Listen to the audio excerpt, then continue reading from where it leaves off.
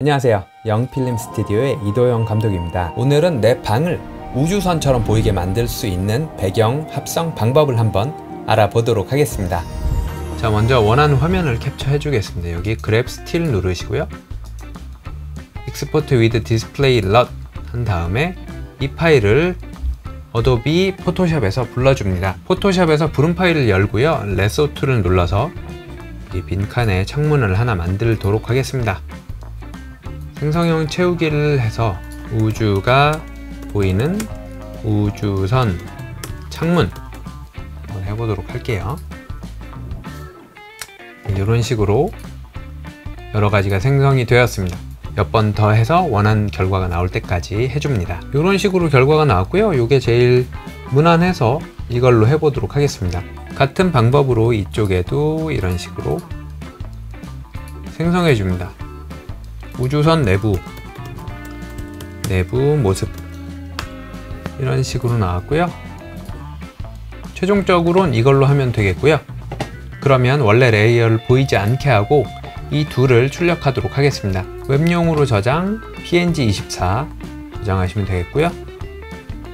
universe 다시 넘어와서 universe png 부르고 불러주겠습니다. 그럼 아까랑 똑같은 상태로 저장이 되는데요. 요거를 한 늘려줄게요. 그래가지고 아래쪽은 왼쪽 오른쪽을 잘라서 오른쪽을 잘라서 왼쪽 위에 거는 왼쪽을 잘라서 오른쪽을 해주도록 하겠습니다. 그리고 색 보정을 한번 해보도록 할게요. 왼쪽 거 먼저 해보겠습니다. 왼쪽 거를 잡아서 잡아서 3개 정도의 노드로 하면 될 것 같아요. 밝기 세츄레이션 여기 보시면 양쪽이 지금 색이 달라서 결이 지금 안 맞죠? 그래가지고 어, 어두운 쪽을 초록 쪽으로 약간 돌려보겠습니다. 결을 맞출 거예요. 안 보이게 만든 것 같은데요. 이런 식으로 밝기를 조금 줄여줬고요. 이쪽을 약간 그라데이션을 줘서 조금 더 어둡게 만들도록 하겠습니다. 이런 식으로. 마이너스 2 쪽에 시선이 덜 가게 약간 그라데이션을 해줬습니다. 해줬고 그 다음에 채도를 약간 조정해 보도록 하겠습니다. 서로 어울리도록 채도를 이런 식으로 조정했습니다. 채도를 약간 높였네요.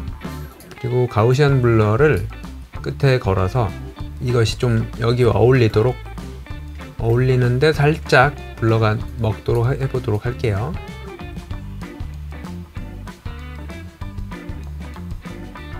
이 정도면 그래도 자연스럽게 된 것 같아요. 그 다음에 여기도 색을 보정해 보도록 하겠습니다.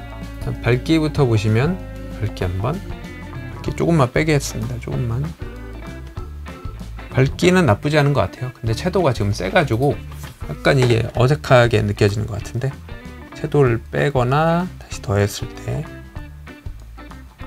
이 정도 채도 이쪽 채도는 줄여갖고 36 약간 줄였습니다. 여기도 가우시안 블러를 주도록 하겠습니다. 가우시안 블러를 이렇게 해서 양쪽을 만들어 주면 되겠습니다. 그러면 이거를 이런 식으로 엎고 입고 이런 식으로 만들어 봤습니다. 네, 오늘 내용은 여기까지입니다. 이 영상이 도움이 되었다면 구독과 좋아요 부탁드리고요. 다음 시간에 또 도움이 된 내용을 가지고 다시 돌아오도록 하겠습니다. 안녕히 계세요.